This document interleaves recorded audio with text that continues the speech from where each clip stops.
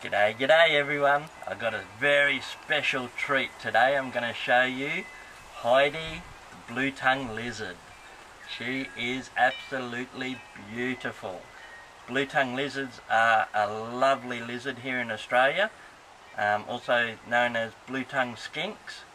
And they're a really docile lizard. They're very placid, got lovely natures, and I'm going to find this one in this awesome enclosure that it's got. Okay, let's have a look around and see if we can find her. Okay, she's not in her big black pipe. She's not in the log.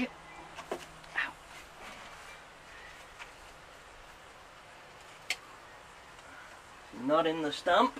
If you have a look down here, this is her little feed bowl.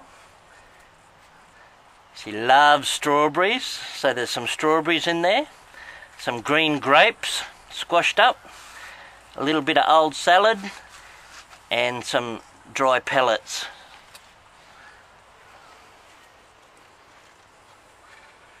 Blue tongues usually eat a lot of insects like crickets, grasshoppers, ants, bugs, cockroaches, all that sort of thing, but they also like fruit. Got a bit of old dead grass and mulch up in this corner for her to hide in. Oh, that's what else they love. They love snails. They love eating garden snails. There's an empty shell.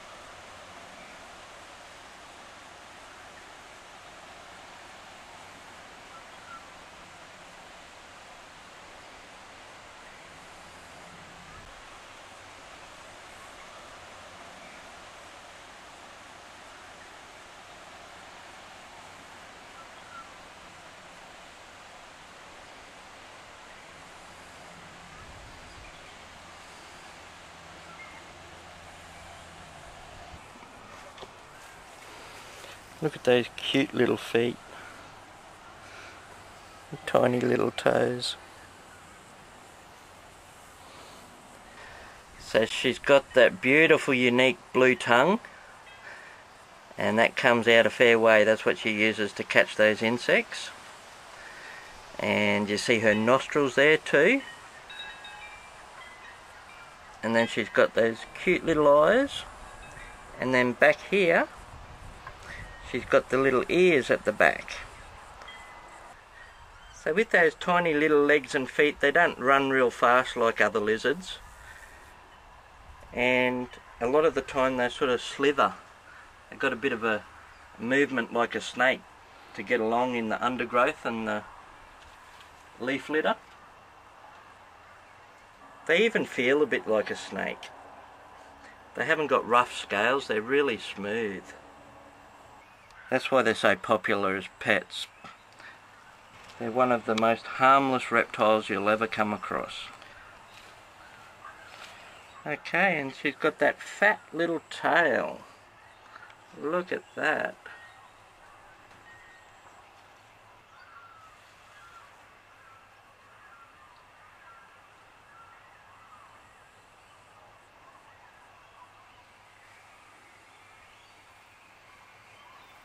Okay, I'll show you underneath.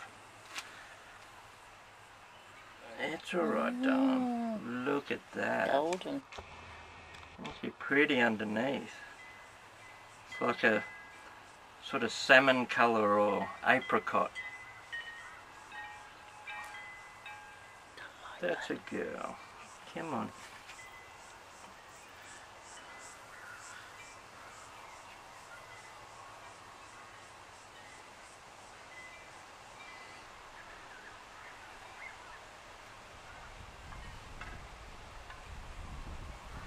Do you want that?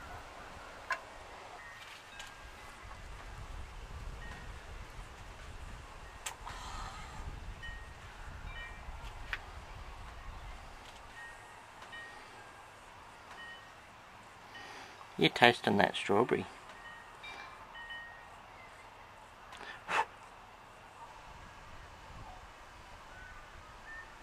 That tail's pretty strong.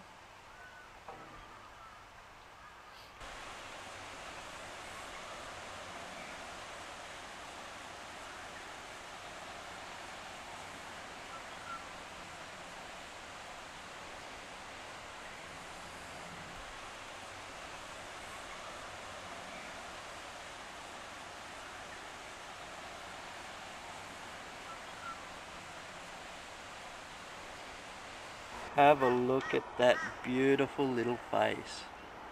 Isn't she adorable?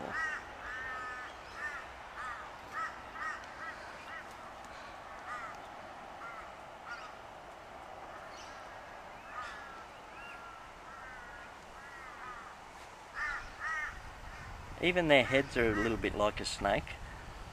They do resemble snakes, especially when they're in the undergrowth and when they're like just going through the leaf litter and they're slithering along.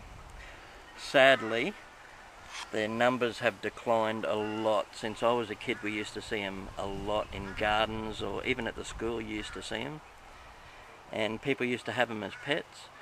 But through loss of habitat, um, cats and dogs, and also people sometimes think they're snakes and they come to an ill fate because of that. So they don't seem to be anywhere near as common as they used to be when I was younger and they are just a, such a harmless, docile, really beautiful natured little lizard.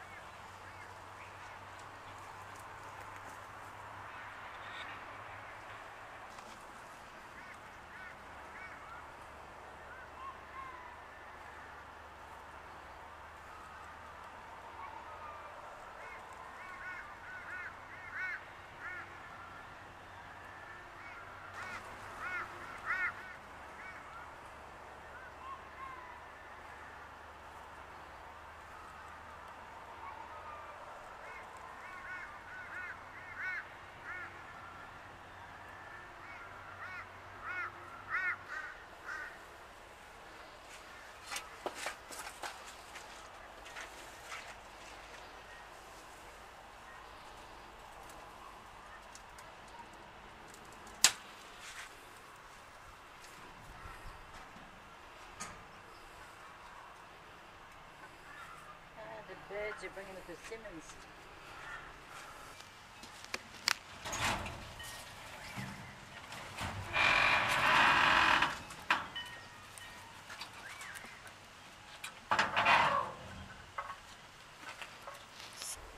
This is a brilliant enclosure for it. It's about 25 foot long by 10 foot across and it's also got a roof on it so no birds or anything can get at them and it's got a little bit of greenery, some plants in here, lots of leaf litter, sand, tunnels, log, timbers, rocks, everything that she needs and loves. So it's a really good little spot and I'm so glad I got to share this with you. Let me know in comments what you thought of Heidi the Blue Tongue skink and thank you very much for joining me. Remember everyone, take time for the simple joys. Bye.